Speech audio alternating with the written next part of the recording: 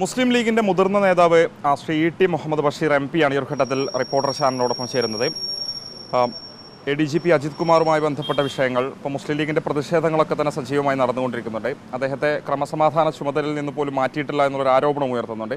എങ്ങനെയാണ് ഈ ഒരു വിഷയങ്ങളൊക്കെ തന്നെ നോക്കിക്കാണുന്നത്? വളരെ വളരെ സങ്കീർണങ്ങളായിട്ടുള്ള പ്രശ്നങ്ങളുണ്ട്. ഈ പ്രശ്നങ്ങളിലെ ഗവൺമെന്റ് എടുക്കുന്ന സമീപനത്തെക്കുറിച്ച് രാജ്യവ്യാപകമായ പ്രതിഷേധം ഉയർന്നിരിക്കുകയാണ്. അവരുടെ തൃപ്തികരമായ ഒരു വിശദീകരണം നൽകാൻ പോലും കേരളത്തിലെ മുഖ്യമന്ത്രിക്ക് സാധിച്ചിട്ടില്ല.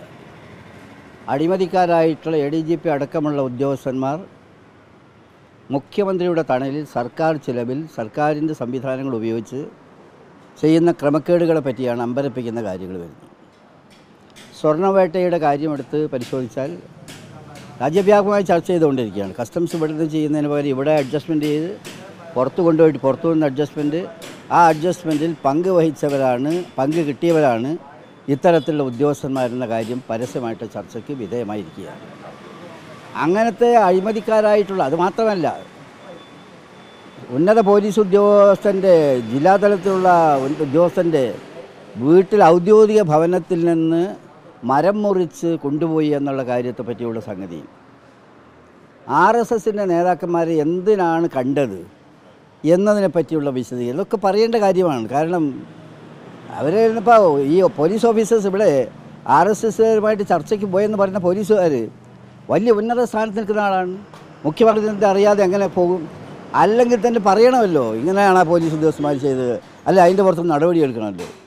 അതുപോലെ തൃശ്ശൂർ പോലും കലക്കിയത് സംബന്ധിച്ച സംഗതികൾ ആർ എസ് എസ് ബന്ധത്തിന്റെ അടിസ്ഥാനത്തിൽ ഇവിടുത്തെ ജില്ലാ തലങ്ങളിൽ മറ്റും ഉണ്ടായിട്ട് ഒരുപാട് തെറ്റായി അവർ പ്രചരിപ്പിച്ചിട്ടുള്ള കാര്യങ്ങൾ ഇതെല്ലാം തന്നെ കേരളത്തിൽ മുഴങ്ങിക്കൊണ്ടിരിക്കുകയാണ്. മുഖ്യമന്ത്രി ആവട്ടെ ഇവരൊക്കെ സംരക്ഷിക്കുകയാണ്. ഇതിപ്പോൾ അൻവർ വന്നു. അല്ല അൻവർ പറഞ്ഞു എന്ന് മാത്രമല്ല. മലപ്പുറം ജില്ലയിൽ ഈ ഇത്തരം അവസ്ഥാവിശേഷം വന്നത് അതിനെക്കുറിച്ച് ഇടതുപക്ഷ മുന്നണിയിൽ സി പി ഐ അടക്കമുള്ള പാർട്ടികൾ വ്യക്തമായിട്ട് പറഞ്ഞിരിക്കുകയാണ്. ആർ എസ് എസ് ബന്ധമുള്ള ആളെ എങ്ങനെയാണ് ഒരു ജില്ലയുടെ ഉന്നതമായ പോലീസ് പദവിയിൽ നിൽക്കുന്നത് എന്നതിനെക്കുറിച്ച് ശക്തമായ പ്രതിഷേധം C P M C P I അടക്കം പറഞ്ഞിട്ടുണ്ട്. ഇതൊന്നും വകവയ്ക്കാതെ ഇവരെ സംരക്ഷിക്കുന്നത് എന്തിനാണ് മുഖ്യമന്ത്രി എന്നത് വളരെ പ്രസക്തമായ ചോദ്യമാണ്. ഈ ഉദ്യോഗസ്ഥന്മാരുടെ പേരിൽ നടപടി എടുക്കുന്നില്ലെന്ന് മാത്രമല്ല ഇക്കാര്യത്തിലുള്ള നിജസ്ഥിതി എന്താണ് മുഖ്യമന്ത്രിക്ക് കൃത്യമായി പറയാനുള്ളത് എന്ന കാര്യം പോലും വ്യക്തമല്ല. അത്.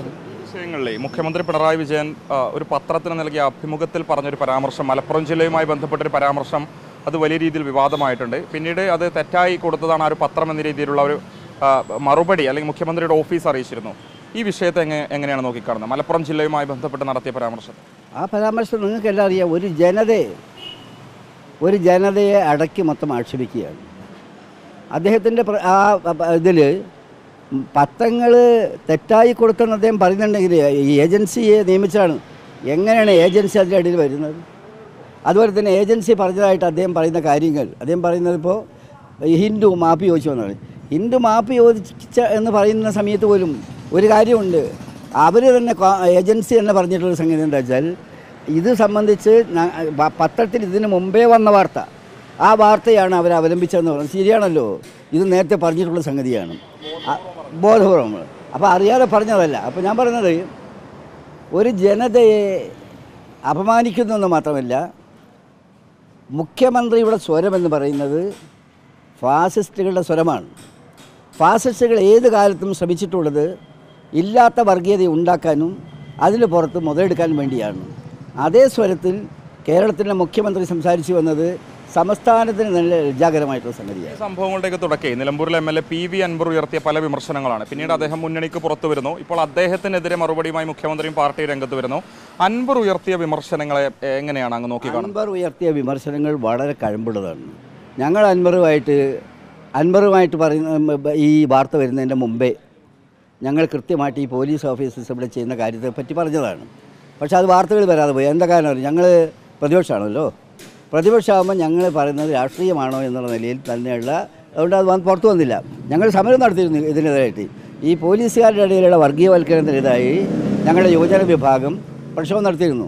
അപ്പോൾ അദ്ദേഹം പറഞ്ഞിട്ടുള്ള വസ്തുതകൾ ആ വസ്തുതകൾ വളരെ ശരിയാണ്. രാജ്യത്തെ ചർച്ച ചെയ്യപ്പെട്ടതാണ്.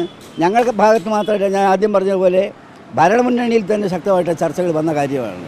അത് അപ്പോൾ അത്തരം സംഗതികൾ ഇവർക്ക് ഇനി എന്താ പറയുക മൂടി വെക്കാൻ സാധിക്കാത്ത വിധത്തിൽ അത് പുറത്തു വന്നു കഴിഞ്ഞിട്ടുണ്ട്. സ്വാഭാവികമായും ലീഗ് ഉയർത്തിയ വിഷയങ്ങൾ തന്നെയാണ് അൻവർ പറയുന്നത് പറയുമ്പോൾ. അൻവറിനെ ഒരു ഘട്ടത്തിൽ ലീഗിലേക്ക് ക്ഷണിക്കേണ്ടി വന്നാൽ എങ്ങനെയായിരിക്കും നിലപാട്? അതൊക്കെ വേറെ കാര്യം. അത് വേറെ ഒരു ഇഷ്യൂ ആണ്. മുസ്ലിം ലീഗിന്റെ ഒരു സമീപന രീതി എന്ന് പറയുന്നത് അതെടുത്ത സമീപനം എന്ത്? ഇപ്പോൾ ഇപ്പോൾ ഞങ്ങൾ അൻവറിന്റെ എന്താ അവരെ സി പി എം ആയിട്ടുള്ള അവരുടെ പ്രശ്നം അതിൽ സംഗതിക്കൊന്നും ഞങ്ങൾ കിടക്കുന്നില്ല. ഞങ്ങൾ പറയുന്ന അദ്ദേഹം പറഞ്ഞതിൽ വസ്തുതകളുണ്ട്. ആ വസ്തുതകൾ രാജ്യത്തെ ജനങ്ങളുടെ മുമ്പിലുണ്ട്. ആ വസ്തുതകൾ അദ്ദേഹം പറയുന്നതിന് മുമ്പ് തന്നെ പറഞ്ഞൊരു പാർട്ടി എന്നുള്ള നിലയിൽ തീർച്ചയായിട്ടും ആ കാര്യത്തിൽ ഞങ്ങൾക്ക് ആ നിലയിലുള്ള ഒരു സമീപന രീതിയാണ്. പരിപാടികളിൽ ഇപ്പോൾ ചന്തകുന്നത്തെ പരിപാടികളിൽ വലിയ പങ്കാളിത്തം മുസ്ലിം ലീഗ് അണികളൊക്കെ ആ പരിപാടിയിൽ പങ്കെടുക്കുന്നുണ്ടെന്ന് അവകാശപ്പെടുന്നത്. ഇല്ല. അതൊക്കെ അത് അദ്ദേഹത്തിന്റെ മുസ്ലിം ലീഗ് എന്ന് പറഞ്ഞാൽ വളരെ ഡിസിപ്ലിനുള്ള പാർട്ടിയാണ്. പാർട്ടി അനൗൺസ് ചെയ്ത പരിപാടികളിൽ അവർ പോവുള്ളൂ അതൊക്കെ പിന്നെ അത് എന്താ പറയുക കൊഴുപ്പ് കൂട്ടാൻ വേണ്ടി അവരുണ്ടാക്കുന്ന പ്രചാരണങ്ങൾ. അതിലൊന്നും കാര്യമില്ല. തീർച്ചയായും അൻവർ ഉയർത്തിയ വിമർശനങ്ങൾ ആദ്യഘട്ടം മുതൽ മുസ്ലിം ലീഗ് ഉൾപ്പെടെയുള്ള പ്രതിപക്ഷ കക്ഷികൾ പറയുന്ന കാര്യം തന്നെയാണ്. അദ്ദേഹത്തിന് ആ നിലയിൽ തന്നെ പിന്തുണ നൽകുന്നു എന്നുള്ളതാണ് ലീഗിന്റെ ദേശീയ ഓർഗനൈസിംഗ് സെക്രട്ടറി കൂടിയായ E T Muhammad Basheer reporter ചാനലിനോട് പ്രതികരിക്കുന്നത്. Video journalist Shafeeq കരുളായിക്കൊപ്പം reporter Mubashir P Akbar in reporter Tirur.